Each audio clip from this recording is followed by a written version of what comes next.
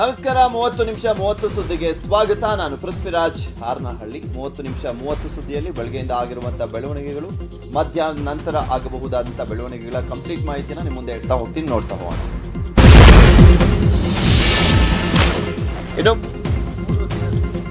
ಬೆಂಗಳೂರಿನಲ್ಲಿ ಮತ್ತಷ್ಟು tough rules ಜಾರಿಯಾಗುವಂತ ಸಾಧ್ಯತೆ ಇರುವಂತದ್ದು ಆಗಸ್ಟ್ ಹದಿನಾರರಿಂದ ಹಂತ ಹಂತವಾಗಿ ಬೆಂಗಳೂರಿಗೆ ಬೀಗ ಬೀಳಲಿದೆ.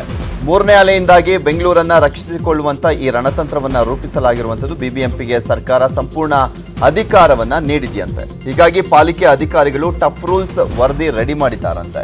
ಈ ಬಗ್ಗೆ ಮಾತನಾಡಿರುವಂತ ಬಿಬಿಎಂಪಿ ಮುಖ್ಯ ಆಯುಕ್ತ ಗೌರವ್ ಗುಪ್ತಾ, ಶೇಕಡ ಎರಡಕ್ಕಿಂತ ಹೆಚ್ಚು ಪಾಸಿಟಿವಿಟಿ ಇದ್ರೆ ಕಠಿಣ ನಿಯಮವನ್ನು ಕೈಗೊಳ್ಳಲಾಗುತ್ತೆ ಅಂತ ಹೊಸ ರೂಲ್ಸ್ ಬಗ್ಗೆ ಸುಳಿವನ್ನು ನೀಡಿದ್ದಾರೆ. ಹೋದ ನಲ್ವ ನಲವತ್ತು ದಿನಗಳಲ್ಲಿ ನೋಡೋದಾದರೂ ಕೂಡ ನಾನ್ನೂರು ರಷ್ಟು ಇದೆ. ನಾನ್ನೂರಕ್ಕಿಂತ ಜಾಸ್ತಿ ಇತ್ತು. ಸಾವಿರ ಕೇಸುಗಳು ಇತ್ತು. ಅದನ್ನು ಕಡಿಮೆ ಆಗಿ ಆರುನೂರ, ಐನೂರು ನಾನ್ನೂರು ತನಕ ಇತ್ತು. ಹೋದ ನಾಲ್ಕು ದಿನಗಳಲ್ಲಿ ಮುನ್ನೂರ ಐವತ್ತು ತನಕ ಇರ್ತಕ್ಕಂಥದ್ದನ್ನು ನಾವು ನೋಡಿದ್ದೀವಿ.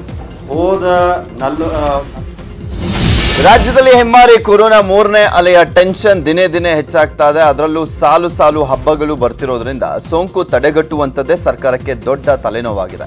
ಹೀಗಾಗಿ ಹಬ್ಬಗಳ ಆಚರಣೆಗೆಂದೇ ಸರ್ಕಾರ ಹೊಸ ಮಾರ್ಗಸೂಚಿಯನ್ನು ಹೊರಡಿಸಿದೆ. ಅಕ್ಟೋಬರ್ ವರೆಗೂ ಅನ್ವಯವಾಗುವಂತೆ ಗೈಡ್ ಲೈನ್ಸ್ ಮಾಡಲಾಗಿದ್ದು, ಗಣೇಶ ಹಬ್ಬಕ್ಕೆ ಪ್ರತ್ಯೇಕ ಮಾರ್ಗಸೂಚಿ ಪ್ರಕಟ ಮಾಡಲಾಗಿದೆ. ಸಾರ್ವಜನಿಕವಾಗಿ ಗಣೇಶೋತ್ಸವ ಆಚರಣೆ ಮಾಡುವಂತಿಲ್ಲ. ಮೊಹರಂ ಸಾಮೂಹಿಕ ಪ್ರಾರ್ಥನೆ, ಮೆರವಣಿಗೆ ಕೂಡ ಇಲ್ಲ. ಒಂದು ವೇಳೆ ನಿರ್ಬಂಧ ಮೀರಿ ಆಚರಣೆ ಮಾಡಿದ್ದೇ ಆದಲ್ಲಿ ಪೊಲೀಸರು ಕಠಿಣ ಕ್ರಮವನ್ನು ಕೈಗೊಳ್ಳಲಿದ್ದಾರೆ. ಕೊರೋನಾ ಮೂರನೇ ಅಲೆ ಆತಂಕದ ಮಧ್ಯೆನೇ ಶಾಲೆ ತೆರೆಯುವುದಕ್ಕೆ ಸಕಲ ರೀತಿ ಸಜ್ಜಾಗಿದೆ. ಆಗಸ್ಟ್ ಇಪ್ಪತ್ತ್ ಮೂರರಿಂದ ಒಂಬತ್ತನೇ ತರಗತಿಯಿಂದ ಸೆಕೆಂಡ್ ಪಿಯುಸಿ ವರೆಗೂ ಶಾಲೆ ಬಾಗಿಲು ತೆರೆಯಲಿವೆ. ಈ ಸಂಬಂಧ ಶಿಕ್ಷಣ ಇಲಾಖೆ ಮಾರ್ಗಸೂಚಿಯನ್ನ ಪ್ರಕಟ ಮಾಡಲಿದ್ದು. ಹಲವು ನಿಯಮಗಳನ್ನು ಅಳವಡಿಸಲಿದೆ. ಪಾಳಿಯಲ್ಲಿ ಕ್ಲಾಸ್ ಅನ್ನ ಆರಂಭ ಮಾಡುವಂಥದ್ದು, ಶಾರೀರಿಕ ಅಂತರವನ್ನ ಕಾಪಾಡುವಂಥದ್ದು ಯಾವ ರೀತಿಯಾಗಿ ಸ್ಯಾನಿಟೈಸೇಷನ್ ಬಳಕೆಗೆ ಒತ್ತನ್ನು ನೀಡುವಂಥದ್ದಾಗಿರ್ಬೋದು. ಎರಡು ಹಂತಗಳಲ್ಲಿ ಶಾಲೆ ಮತ್ತು ಕಾಲೇಜು ಆರಂಭ ಸೇರಿದಂತೆ ಹಲವು ನಿಯಮಗಳನ್ನು ಅಳವಡಿಸುವಂತ ಸಾಧ್ಯತೆ ಇದೆ. ಕೊರೋನಾ ಕಟ್ಟಿ ಹಾಕ್ತೀವಿ ಅಂತ ಇರುವಂತ ಸರ್ಕಾರ ಕೇವಲ ಸಭೆಗಳನ್ನಷ್ಟೇ ಮಾಡ್ತಿದ್ಯಾ ಅನ್ನುವಂತ ಅನುಮಾನ ಶುರುವಾಗಿದೆ. ಯಾಕೆಂದ್ರೆ ಟ್ರ್ಯಾಕ್ ಟ್ರೀಟ್ ಟೆಸ್ಟ್ ಸೂತ್ರವನ್ನ ಮರೆತಂತೆ ಕಾಣ್ತಾ ಇದೆ. ಕೇರಳದಲ್ಲಿ ಎರಡು ಡೋಸ್ ಪಡೆದವರಿಗೂ ಕೊರೋನಾ ಬೆನ್ನು ಬಿದ್ದಿದೆ. ಪ್ರತಿದಿನ ಇಪ್ಪತ್ತು ಸಾವಿರಕ್ಕೂ ಹೆಚ್ಚು ಜನರಲ್ಲಿ ಸೋಂಕು ಪತ್ತೆ ಆಗ್ತಾ ಇದೆ. ಲಸಿಕೆ ಪಡೆದಂತ ನಲವತ್ತು ಸಾವಿರಕ್ಕೂ ಹೆಚ್ಚು ಜನರಲ್ಲೇ ಕೊರೋನಾ ಕಾಣಿಸಿಕೊಂಡಿರುವಂಥದ್ದು. ಆದರೆ ರಾಜ್ಯದಲ್ಲಿ ಮಾಮೂಲಿ ಕೊರೋನಾ ಟೆಸ್ಟ್ ಕೂಡ ಆಗ್ತಿಲ್ಲ. ಕೇರಳದಲ್ಲಿ ಜಿನೋಮಿಕ್ ಸೀಕ್ವೆನ್ಸಿಂಗ್ ಟೆಸ್ಟ್ ಕೂಡ ಶುರು ಮಾಡಿದ್ದಾರೆ. ಈ ಟೆಸ್ಟ್ನಿಂದ ರೂಪಾಂತರ ಸೋಂಕು ಪತ್ತೆ ಹಚ್ಚೋಕೆ ಸಹಾಯವಾಗುತ್ತೆ. ಆದರೆ ಸರ್ಕಾರ ಮಾತ್ರ ಇದ್ಯಾವುದಕ್ಕೂ ಕೂಡ ತಲೆ ಕೆಡಿಸಿಕೊಳ್ತಾ ಇಲ್ಲ. ಸರ್ಕಾರದ ಈ ನಡೆಗೆ ಫನ ಅಧ್ಯಕ್ಷ ಡಾಕ್ಟರ್ ಪ್ರಸನ್ನ ಬೇಸರವನ್ನು ವ್ಯಕ್ತಪಡಿಸಿದ್ದಾರೆ. ಈ ಕರ್ನಾಟಕದಲ್ಲಿ ನಿನ್ನೆವರೆಗೂ ಸುಮಾರು ಹನ್ನೆರಡು ಸಾವಿರ ಬ್ರೇಕ್ ಥ್ರೂ ಇನ್ಫೆಕ್ಷನ್ಸ್ ರಿಪೋರ್ಟ್ ಆಗಿದೆ ಅಫಿಷಿಯಲ್ ವೆಬ್ಸೈಟಲ್ಲಿ.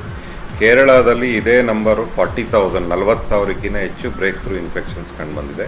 ಬಟ್ ನಮ್ಮಲ್ಲಿ ಅವರಲ್ಲಿ ಏನು ಡಿಫ್ರೆನ್ಸ್ ಅಂದರೆ ನಮ್ಮಲ್ಲಿ ಜಿನೋಮಿಕ್ ಸೀಕ್ವೆನ್ಸಿಂಗ್ ಆಗ್ತಾ ಇಲ್ಲ. ಸುಮಾರು ಒಂದು ಎಂಟುನೂರು ಕೇಸಲ್ಲಿ ಜಿನೋಮಿಕ್ ಸೀಕ್ವೆನ್ಸ್ ಮಾಡಿ. ಕೊರೋನಾ ಮೂರನೇ ಅಲೆ ಆತಂಕ ಹೆಚ್ಚಾಗಿರುವಂತ ಬಗ್ಗೆ ಉಡುಪಿಯಲ್ಲಿ ಪ್ರತಿಕ್ರಿಯೆ ನೀಡಿದಂತಹ ಸಿಎಂ ಬೊಮ್ಮಾಯಿ ಇಂದು ತಜ್ಞರ ಜೊತೆ ಮಹತ್ವದ ಸಭೆಯನ್ನ ನಡೆಸ್ತೀನಿ. ತಜ್ಞರು ನೀಡುವಂತ ಸಲಹೆ ಮೇರೆಗೆ ಸೂಕ್ತ ನಿರ್ಧಾರವನ್ನ ಮಾಡ್ತೇನೆ ಅಂತ ತಜ್ಞರ ವರದಿಯನ್ನ ಆಧರಿಸಿಯೇ ಮುಂದಿನ ಕ್ರಮವನ್ನ ತೆಗೆದುಕೊಳ್ತೇವೆ ಅಂತ ಹೇಳಿದರು. ಎಕ್ಸ್ಪರ್ಟ್ಸ್ ಏನು ಹೇಳ್ತಾರೆ ಆ ರೀತಿ ನಾವು ಕೇಳ್ತೀವಿ. ಒಂದು ಕಡೆ ಶಾಲೆ ಶುರು ಮಾಡುವ ಸವಾಲು ಕೂಡ ಇದೆ. ಜೊತೆಗೆ ಮಕ್ಕಳಿಗೆ ಕೊರೋನಾವು ಜಾಸ್ತಿ ಆಗ್ತಾ ಇದೆ. ಹೇಗೆ ಇದನ್ನು ಸಮದುಗಿಸ್ಕೊಂಡು ಹೋಗ್ತೀರಿ.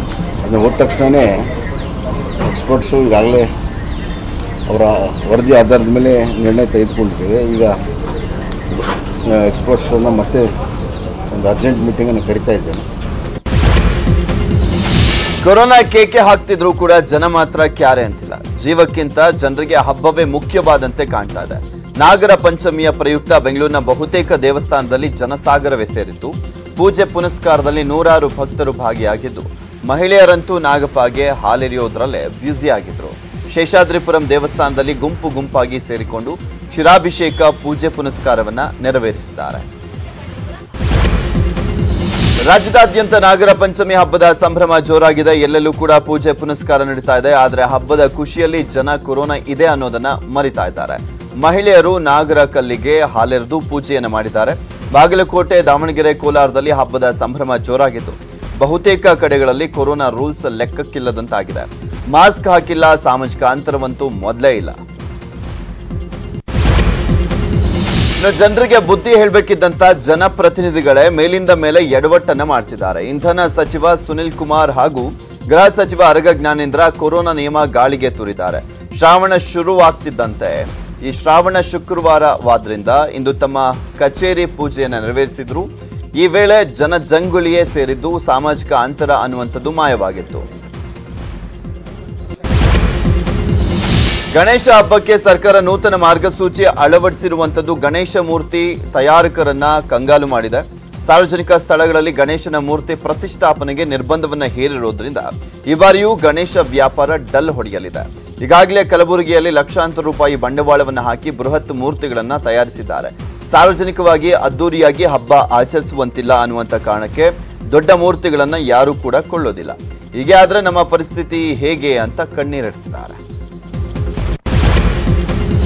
ಡೆಲ್ಟಾ ಪ್ಲಸ್ ರೂಪಾಂತರಿ ವೈರಸ್ಗೆ ಮುಂಬೈನಲ್ಲಿ ಮೊದಲ ಸಾವಾಗಿದೆ. ಮಹಾರಾಷ್ಟ್ರದಲ್ಲೇ ಡೆಲ್ಟಾ ಪ್ಲಸ್ ತಳಿಯ ವೈರಸ್ಗೆ ಇಬ್ಬರು ಸಾವನ್ನಪ್ಪಿದ್ದು, ಎರಡು ಡೋಸ್ ಲಸಿಕೆ ಪಡೆದಂಥ ಮಹಿಳೆಯ ಮೃತಪಟ್ಟಿರುವಂಥದ್ದು. ಅಲ್ಲದೆ ಮಹಿಳೆಯ ಪ್ರಾಥಮಿಕ ಸಂಪರ್ಕದಲ್ಲಿದ್ದಂಥ ಆರು ಮಂದಿಗೆ ಸೋಂಕು ತಗುಲಿದ್ದು, ಇಬ್ಬರಲ್ಲಿ ಡೆಲ್ಟಾ ಪ್ಲಸ್ ರೂಪಾಂತರಿ ಇರುವಂಥದ್ದು ದೃಢಪಟ್ಟಿದೆ.